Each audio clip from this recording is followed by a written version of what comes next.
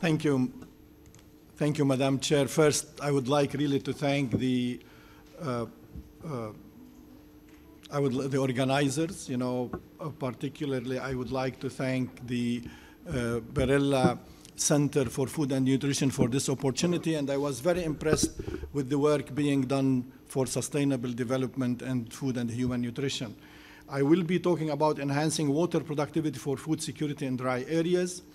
Uh, my outline will be changing world and the food insecurity in those areas, the challenges facing uh, food security and water security, then the applications of science and technology, and then beyond research to achieve sustainable impact, and then conclusion.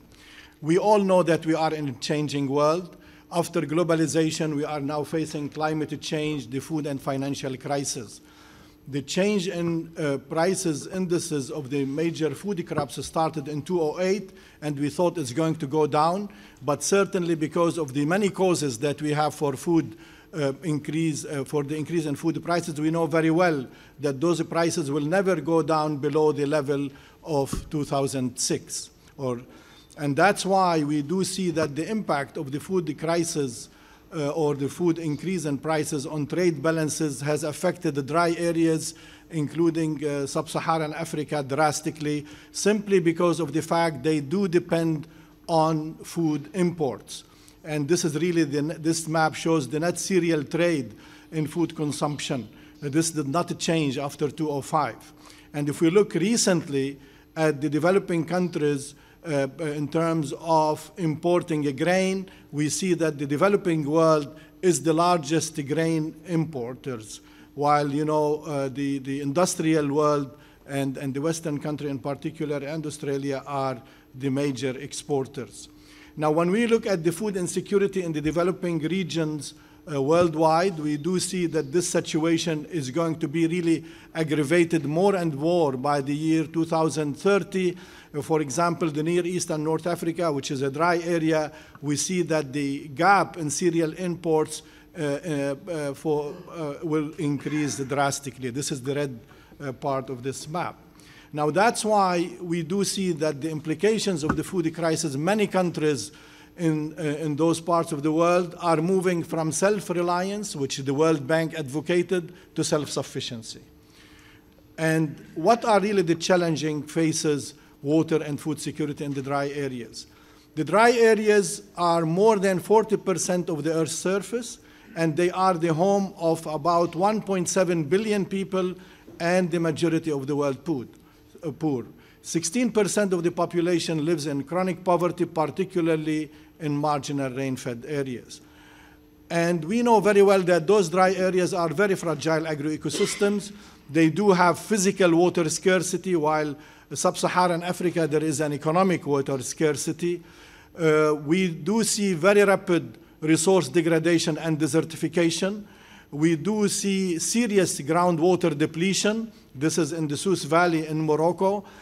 And uh, drought is becoming a common phenomena and salinity, particularly in irrigated areas, because of faulty irrigation, is very serious. 50%, for example, of the irrigated areas in Iraq are affected in salinity. The delta in Egypt is another example. And what is making it worse is climate change. Climate change is adding more pressure on those areas. When we really see what is the implications of climate change, there is a change in precipitation and more frequent drought. There is extreme temperatures. There is a change in climatic zones and shorter growing seasons. In some places in the north, there is gro longer growing seasons, and emerging diseases and insect pests. This is a very scary map which put the scenario uh, for future climate change in uh, the coming 100 years. This is the average of 18 global scenarios. You can see that in the coming 100 years, uh, the Mediterranean region in particular will be seriously affected while uh, precipitation is going to be reduced from 15% to 50%. This is really verify what you have shown earlier. Now, when we talk about food security, the tendency is to talk about production only. It is not only production. Food security has, has four major components. Food availability, access to food, which depends on the income of the population, and the stability of the production and the nutrition and utilization. These are really the four components of food security, but we have the tendency to think only about the volume of production. Now, the other challenges, of course, for food security is the biotic stresses, um, and you know, uh, from diseases to insect pests to parasitic weeds. And further challenges include inadequate agriculture policies for sustainable agriculture development, insufficient investment in agriculture research and development, and uh, uh, important to our part of the world is the importance of economic and political stability. You know very well some of the dry areas are really in a geopolitically volatile environments which really contribute to lack of development, which is very important. When we look at all of these factors, they are really very interrelated and they really contribute to what we call food security and poverty trap.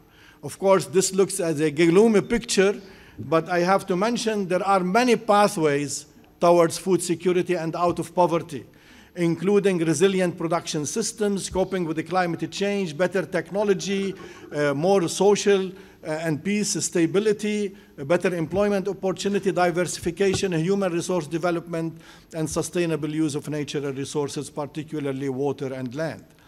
Now, when we look at the sources of increase of food production in the future, and this is according to FAO, agriculture intensification will contribute 70% of the future increase in food production. Less 10% or 10% will come from land. As a matter of fact, 50% of the available land in the world are really uh, in seven countries of the world, and most of this available land is really in Latin America and sub-Saharan Africa. And when you really uh, uh, see what, where it is available, it is available in, in better uh, fertile conditions. And the cropping intensity will contribute 20%, and this is the number of crops per year. A country like Egypt, they have almost two crops per year because of the climatic conditions. Now, sustainable agriculture intensification, we know that can bridge the yield gap and is very important. However, if we do not practice that in a sustainable manner, it will be a serious threat to the environmental resources, soil and water. So the trend certainly should be, and we should advocate more investment in sustainable agriculture intensification of production systems, and therefore we really know we have to go more to modernize the agriculture. Uh, science based technologies is a key force for causing agriculture to undergo a transition from traditional to modernizing uh, conditions.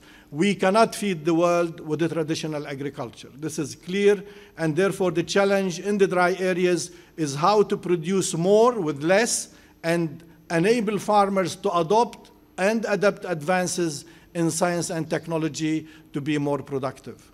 Now, the uh, based uh, on ICARDA experience, which I'm coming from 34 or 35 years of experience in the field, the complexity of the challenges in dry areas require an integrated approach.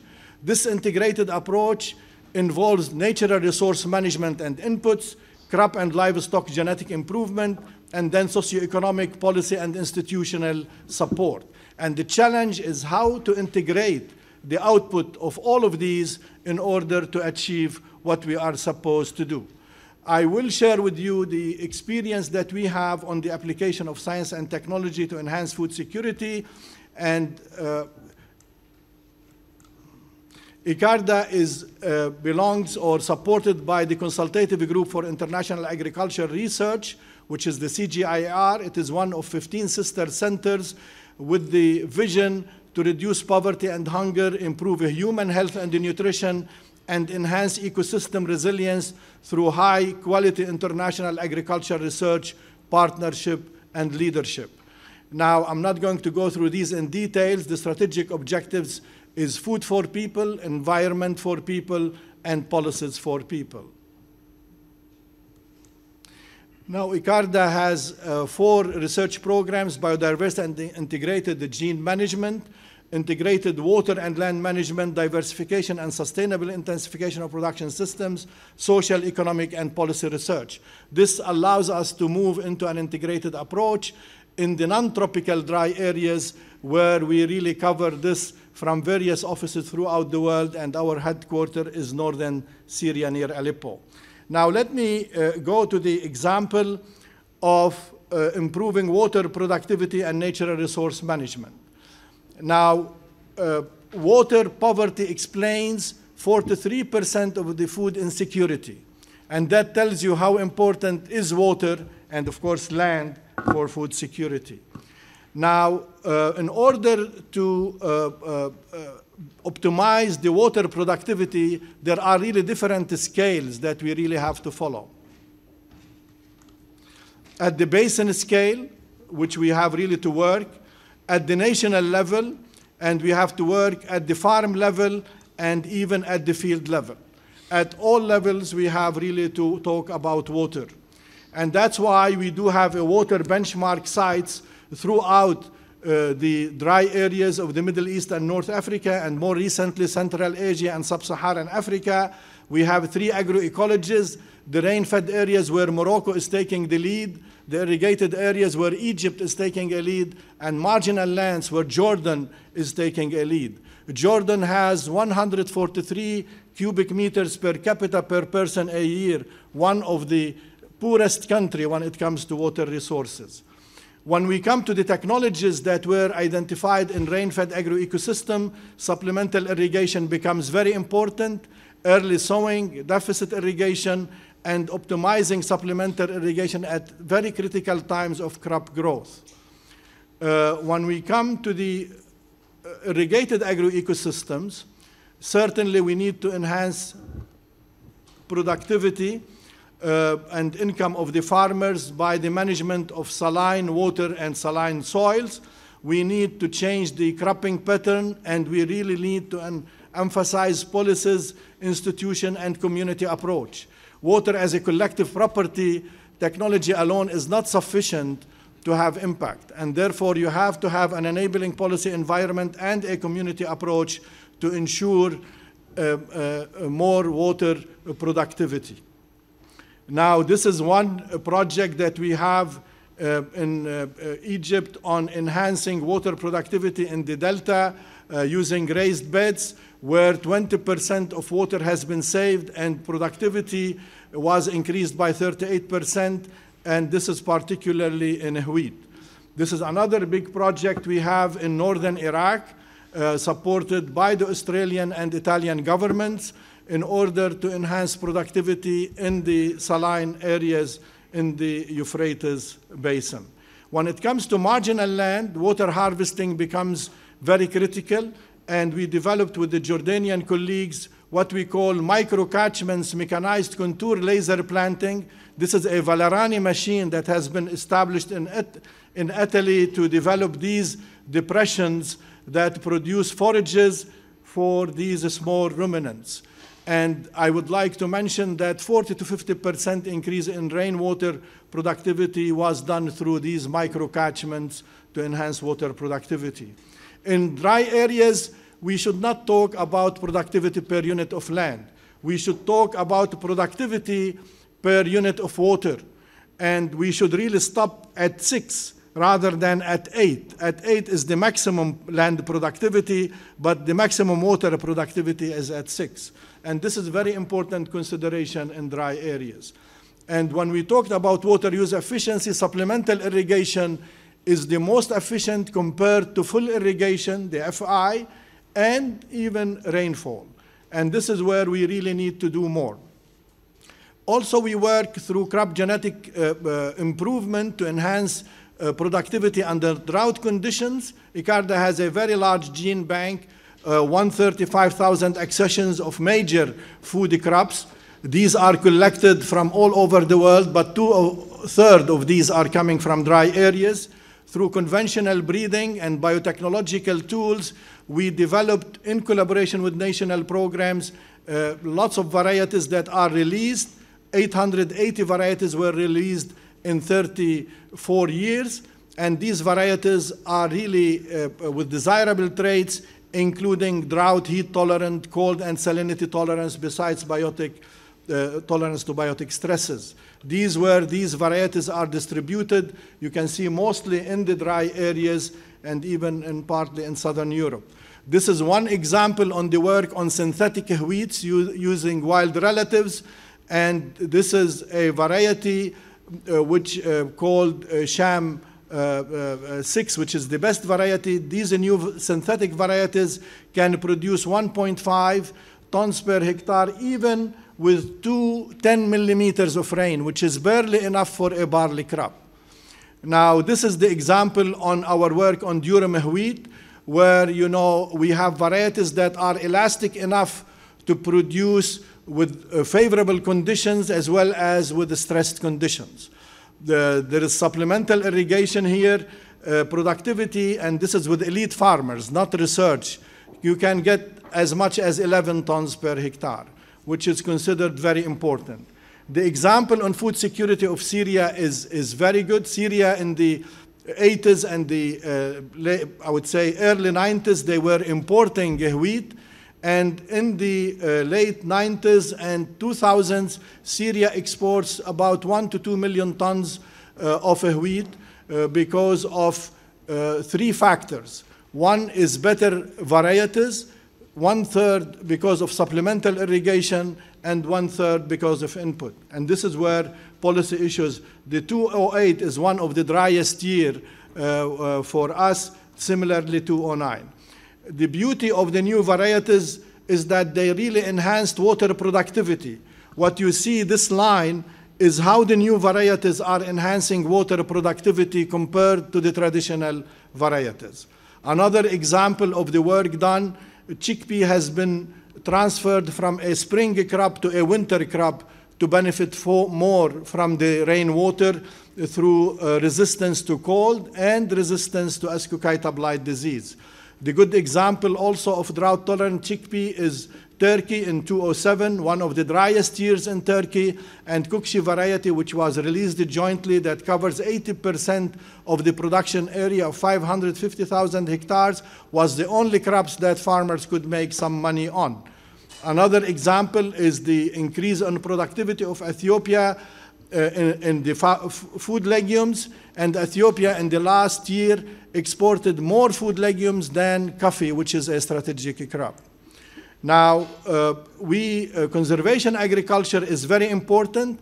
Uh, zero tillage here conserves soil moisture as well as reduce soil erosion. At the same time, it will save energy and fuel. The problem has been really with the very expensive imported seeders, and we managed to manufacture locally uh, seeders that can cost very little compared to 30 or 70,000 dollars to import a seeder. This is now manufactured in northern Iraq and northern Syria with 1,400 to 5,000 dollars. Uh, if you see the expansion of conservation agriculture, this is in Iraq and Syria, it is really booming. In three years, about 20,000 hectares in Syria with about 800 farmers. Now, uh, coming back to the uh, uh, importance of socioeconomic and enabling policy environment, as I mentioned, water and even land are collective properties, and technology alone is not sufficient. And therefore, the socioeconomic and, and policy analysis and policy options are so important to work with the local communities in order to make sure that is a code of ethics on the use of water and, and land. And I want to mention uh, how uh, policy-oriented research enhanced the adoption of improved technologies. Here, I don't have really a pointer, but you can see the difference between with policy-oriented research and without policy-oriented research. There is a difference of about 30% more adoption with the policies. And another important aspects which we are really working uh, with, despite the benefits of improved supplemental irrigation, for example, the, the, traditional supplemental irrigation is still practiced by many farmers with an average irrigation water application rate of 2,600 cubic meters per hectare for wheat. And the only way that we really feel we could economize on the water use is to uh, go, uh, use water use a charge. The price, price water after a certain level. You can give the farmer, if they, if they have, let's say, five hectares, give them free a certain amount of water. Beyond that level, put prices on that water. And doing that, you can really do a lot. This is when you put 0.11 cents, 0.20 cents, and you can uh, uh, reduce water drastically if you really put some pricing. Uh, the only problem I wanted to say, even if you put little amount of pricing, the uh, or more, the elasticity then uh, of the water pricing or the water demand is not very high. In other words, all you have to do is put one price, and the farmers immediately will cut on their water use. Uh, this is an example. This is an example on the uh, uh, how the water uh, saving can be done with different really supplemental irrigations. Beyond research, capacity development is very important. Uh, over the, those years of 34 years, 17,000 scientists and technicians were really trained, 650 with postgraduate research, masters, and PhD. You need to link research with development. Research alone without linking to development is a wasted investment. And there are many ways, really, to enhance technology transfer. I'm not going to go through, uh, through these. The other point I want to mention, partnership is critical. What you have seen is not ICARDA's work only. It is really very important to uh, underline the partnership with national programs, regional and international and UN uh, organizations, civil societies, and private sector. And then finally, this is the conclusion, the, uh, uh, what can really make a difference to enhance food security? You need an enabling policy environment and political support. You need to invest more in science and technology, invest in agriculture development, and enhance the sustainable intensification of production systems.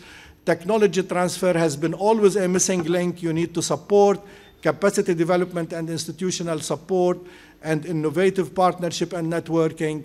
These challenges are far beyond any one institution and any one country to cope with, and therefore partnership becomes very important. These are really the supporters, uh, the donors to ICARDA, including Italy and the European Commission, since I'm really talking in this part of the world. And thank you very much.